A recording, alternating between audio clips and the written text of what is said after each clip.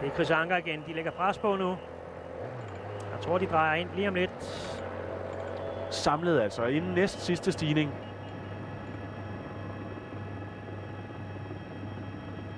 Så er vi der, hvor vi godt kan kalde det fuld finale. Ja, det kan vi i den grad. Dreje ind på den nu. Kommer et par omgange. Rimelig stejl, når den tager fat. Flader lidt ud, og så bliver den stejl hen over toppen igen. Carsten Kron i fjerde position.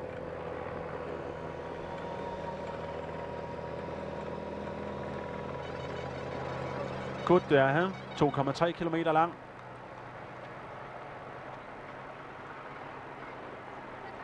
Og Chris Anker Sørensen, der sidder og jogger i gaspedalen i øjeblikket. Så kommer der afløsning. Katusha. Det er på Charter, tror jeg.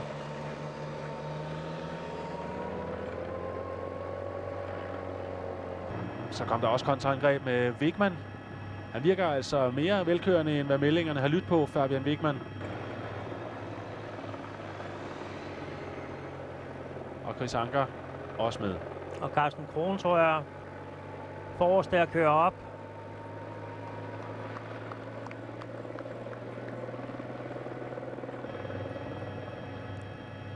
Ja, den skal de prøve at, at gøre noget ved. Den her, det er en god situation.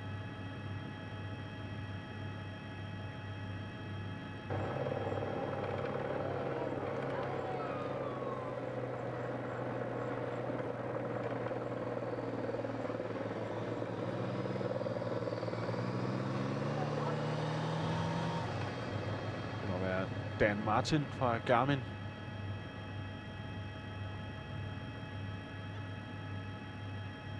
Der kommer han, Carsten Kron. Der kom det rigtige angreb.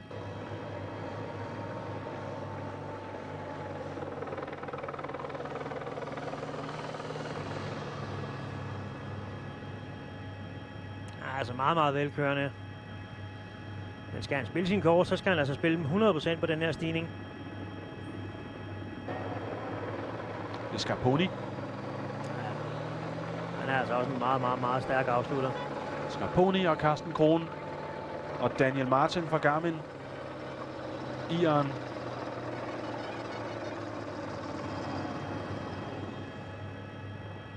Det er de tre, vi har her.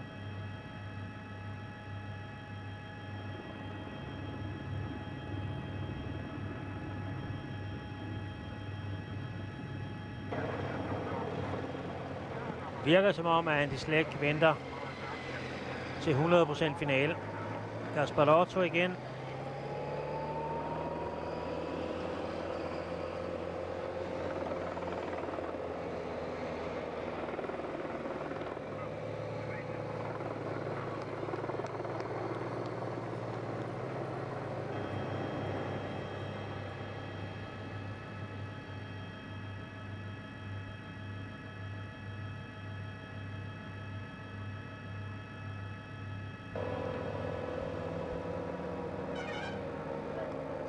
Er det er?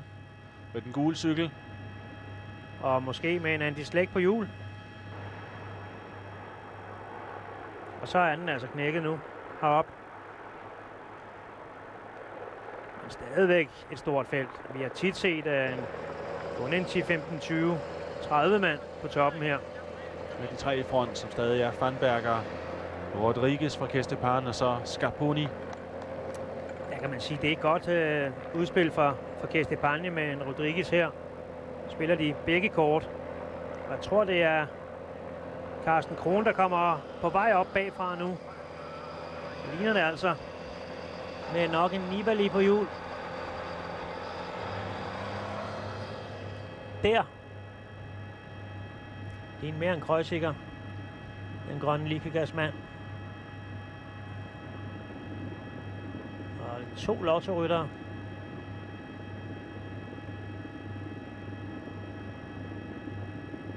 Evans. Og her er Valverde. Man kan kende på den gule cykle, men for Kestepanje-holdet.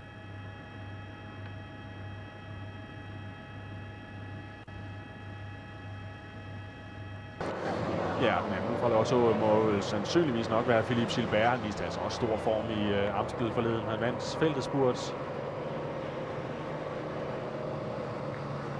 Ja, har Hvad Ski Rebellin. Samuel Sanchez. Sanchez, ja.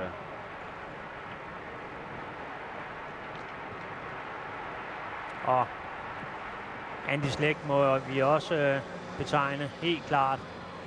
Og Cattle Evans, som øh, sætter sin folk frem nu.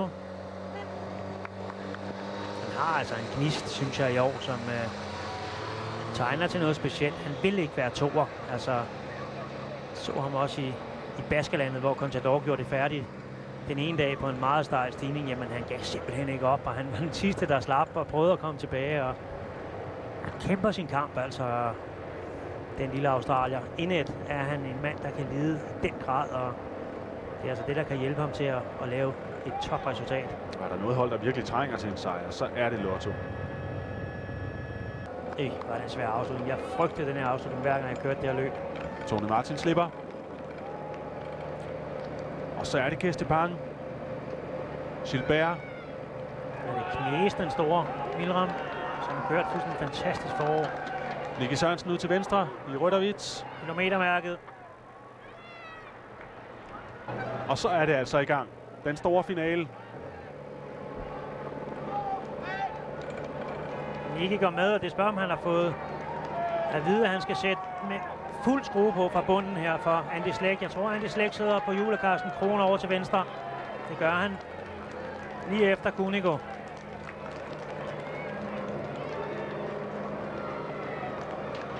Og det er en forbandet lang kilometer, den her. Uh, Kommer han, Nicky? Holder aldrig op. Nicky ud til højre. Og det er det, han har fået besked på. Han skal åbne fuld gas fra bunden. Sådan. Det er den eneste chance, han har, Andy, for at knække simpelthen de store. Slår lidt hul til Wigman. Så kommer der en Akritu Bellman.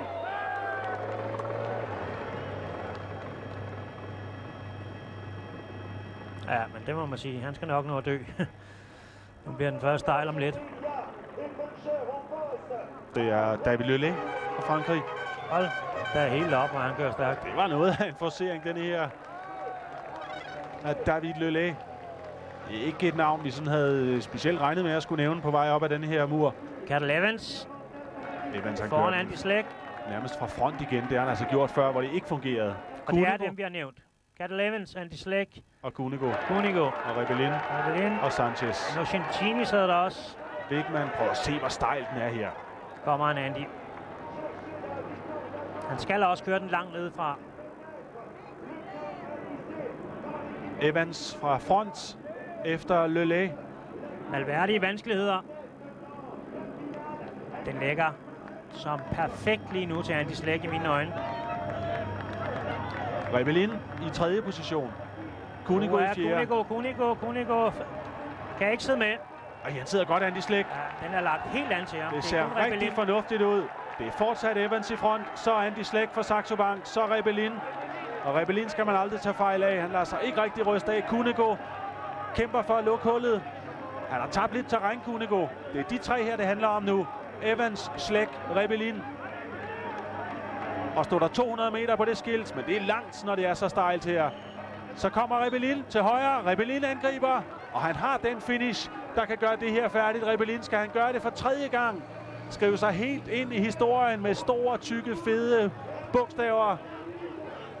Rebellin, Andy Slæk. Det bliver rækkefølgen, tror jeg. Han gør det færdigt. David Rebellin har totalt sat sig på det her løb inden for de senere år. Italiensk sejr på toppen af muren i Hui. David Rebellin for tredje gang. Andy Slæk på andenpladsen. Kunigo, Sanchez, Evans, Valverde. Og Simon Gerrans fra Cervelo Test Team. Også ind, tror jeg, i top 10. Her kommer David Lelay, og så kommer de ellers sejlende. Chris Anker Sørensen kommer i mål her. Vi skal øh, runde meget, meget hurtigt af. Med vinderen i billedet her. Han vinder altså for tredje gang 2004, 2007 og nu 2009. David Rebellin. Cykling igen her på TV2 på søndag. Liège, Bastogne, Liège. Rolf Sørensen, Dennis Ritter siger tak for nu. Nach 195 Kilometern gewinnt der Italiener Davide Rebellin zum dritten Mal dieses Eintagesrennen vor dem Luxemburger Andy Schleck. Si, je suis très content parce que je viens dans euh, semaine passée que je suis pas mal. Euh, L'Amstel, j'étais pas mal, j'étais un peu malade la semaine passée. Es war in letzter Zeit nicht gerade günstig für mich. Ich hatte ja eine Krankheit, er hatte an einer Grippe gelitten. Heute das Rennen sei sehr äh, kompetitiv gewesen, also das konnten wir nicht so sehen, aber auf jeden Fall ist er froh, dass er in der Endphase in einer guten Position war, die er ausnutzen konnte. Ah, J'espère que la Liège pour moi c'est la course plus beau et c'est le parcours juste pour moi. Für mich ist das das schönste Rennen, das es überhaupt gibt. Es entspricht meinen Charakteristiken. Und ich möchte es gerne noch einmal gewinnen.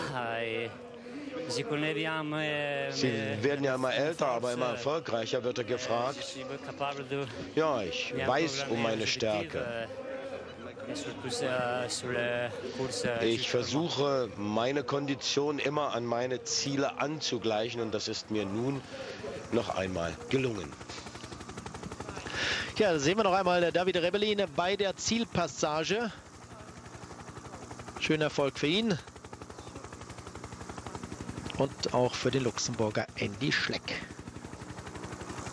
So, am Sonntag geht es weiter mit Lüttich-Bastogne-Lüttich. Zum 95. Mal wird Lüttich-Bastogne-Lüttich ausgetragen. Um 14 Uhr werden wir mit der Live-Übertragung bei Eurosport beginnen. Ja, und jetzt direkt im Anschluss geht es bei Eurosport weiter mit der WM im Snooker in Sheffield. Und Sie wissen ja, Rolf Kalb sitzt wie immer für Sie bereit und wird Sie jetzt unterhalten. Vielen Dank fürs Zuschauen und bis zum kommenden Sonntag sagen Uli Jansch und Carsten Miegels.